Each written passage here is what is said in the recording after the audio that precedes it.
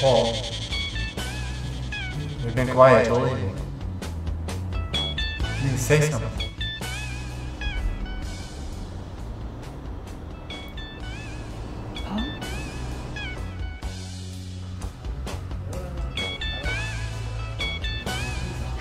You haven't called me for two weeks. I was asleep. You were asleep.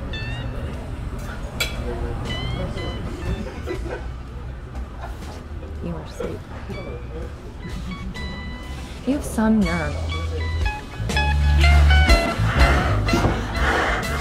To you, O Lord, we commend the soul of Paul Fischer.